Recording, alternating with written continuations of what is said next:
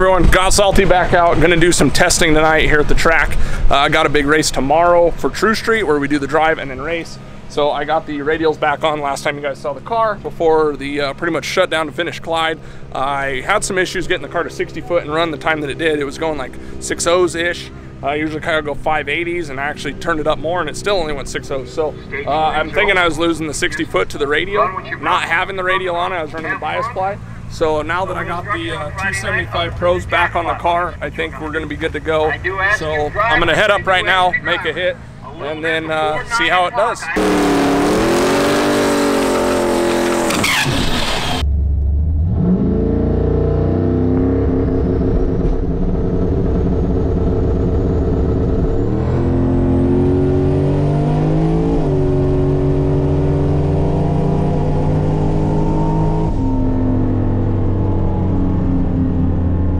So after one pass, we grabbed the slip real quick.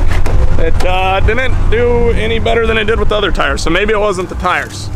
Um, looking at it here, it looks like it went uh, 156 to the 60 foot, went 118 to the 8th, and went 611, which is pretty much what it was doing uh, with the other combo on it. Uh, I turned it up a little bit, gonna go give it some. But on that pass, usually it would go 580 at like 121, 122. So I'm thinking that either the tranny's letting it push through or the, uh, either the tranny's letting it push through or I got a bad plug or a couple plugs. So might need to check plugs and switch them out before tomorrow. Pulling all the plugs and everything seems pretty good. I mean, they all look about like this. So they're all looking pretty good. Um, this one looks kind of clean. So did the, uh, number, I guess, one three. Um, but otherwise, plugs look like they're in fine shape, so I don't know maybe it's a coil not doing something. Uh, it doesn't look completely washed, but I don't know. It's hard to say. So gonna, maybe I got bad in coil. I'm really not sure what's going on now. So I got one more plug to pull. Might go make another pass before the end of the night, but I don't know what'll happen for tomorrow and stuff. If I can't get the car right, I don't really want to just come out and start punishing on it knowing something's wrong. I don't want a cylinder to load up with too much fuel or have bad spark and then it comes in or, you know, just any of those kind of issues. So I'm gonna keep diagnosing, maybe make one more hit, just see what it does. Hey everyone, we are out here. Salty is here. So last night I changed the coils on the car and there's a couple plugs that looked a little goofy, so I went ahead and changed those. I just ran out of time, otherwise I'd put a whole another set in it. Uh, but we're gonna have to leave that for hopefully we get a first test. I'm not exactly sure. We got the True Street cars here, so I'm gonna lead the route because it's a route that I've done before for an event that I put on before. So we got everybody lined up out here. Um, so we're gonna go do about a 30 minute drive and then we'll be back here, probably make a test hit and then we'll pull chips or do however they're doing it. Uh, it's kind of laid out like no prep, but I guess they're prepping this deal. Um, it's called the Red, White, and Blue event just after 4th of July here. So um, we're gonna go do some streetcar things, come back and race and see what happens. Ended up making it through the cruise, got the car weighed in. It was way heavier than it needed to be. So got everything ready, got a tune up in it. Uh, gonna go hopefully see if the 60 foot comes around. If not, I'm guessing the tranny's probably pretty, pretty beat up, pretty tired. So uh, ended up putting new coils in. So had somebody bring me, thanks to GB for bringing me those last night. Gonna get those uh, a try.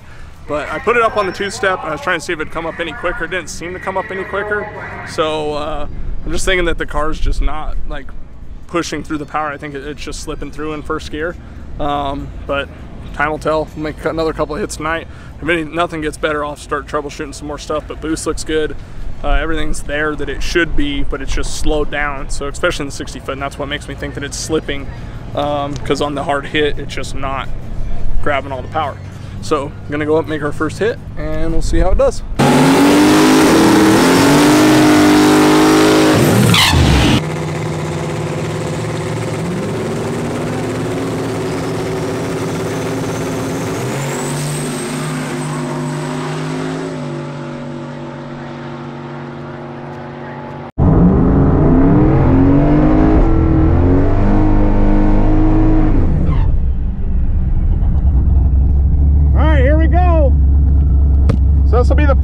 して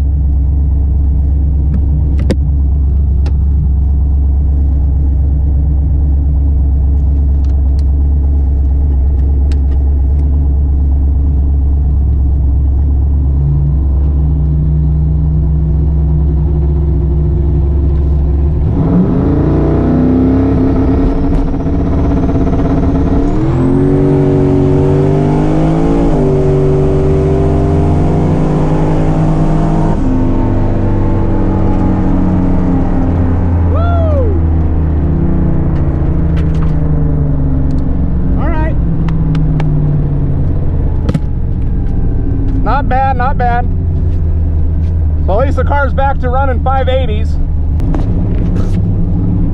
So he went a 550, I went a 580. So at least the car's back in the fives. So that's a that's a solid uh, solid look. So probably depending on who we draw, I'll probably turn it up a little bit more. But uh, should have been about 18 pounds. Went 580, 120 something it looked like. So uh, maybe those couple plugs and the, uh, the tune-up, maybe that maybe that was all better. So see what the 60 foot is here in a second, and then go from there and figure out what I'm gonna do for the tune-up on the next pass. All right, so after about a three hour cleanup after somebody oiled down the track, we're finally getting ready for round one of True Street. Uh, I ended up pulling the buy round, or the buy chip, uh, so I get a buy in the first round, uh, add a little bit more to it, see if we can get it to go 70, uh, see if we can get a little bit more 60 foot out of it, just go from there.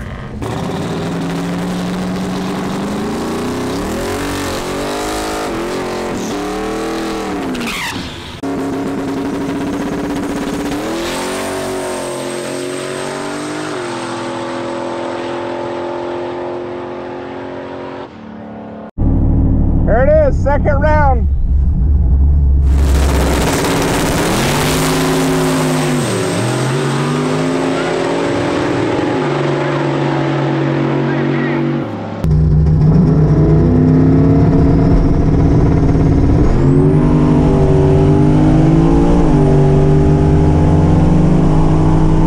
Woo! Woo! Yeah! Yeah! Woo! All right. All right. So the fastest pass Salty has ever made, 563 at 124 mile an hour. I had to throw more in the 60, fastest 60 the car's ever done, 131.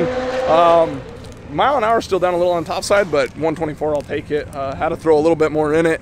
Um, we've had three oil downs. It's taken forever. It's way late. Ran out of generator, gas, and everything. But uh, moving on to, I think this will be the final um, of True Street. So at the final again, gonna look over the data, see if I can put a little bit more in it. Just, uh, just on a chance that hopefully I can get around him. Or I think the last pass that the guy I'll be racing made like was a 70, so I got a 60 in it. Um, but I want to have actually a little bit more. If I can be on the tree better, my trees, my reaction time gets a little bit better every time. So gonna go over data, check everything on the car, get back up there, and hopefully win this thing.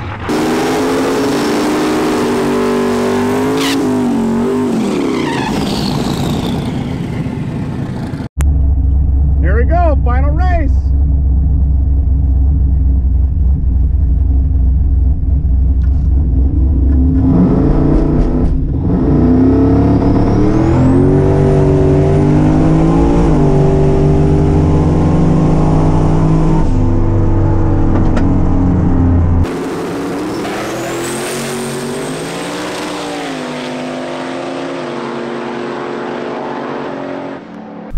Unfortunately, that's how racing goes. The final, uh, the bump box ended up malfunctioning and the button stuck. So it caused the bump button to keep uh, applying, and which caused me to almost go through an almost red light. But I was able to grab the foot brake, launch the car, uh, ended up going like a 587 to his 580, but I was way late on the tree. Uh, wasn't able to leave on good boost or anything. I was really hoping that that was going to be my 550 pass, but still cool. The car ended up going its fastest pass ever with the 564 or 3 there earlier in the rounds. So still super happy with the car. I've since came home and fixed the bump button. Show you guys. So this is how I have it set up. Trans brake on, bump in, uh, and if this sticks on if you just hold it on or if the button malfunctions and sticks um, it has a predetermined time in the bump that it will just keep activating and bumping the car in. Uh, unfortunately that's that's a turbo car issues or whatever so we'll uh, it's fixed now all's good and on to the next race. So thank you guys so much for watching another episode of build tune race. If you have not yet please hit that subscribe button and we'll see you in the next video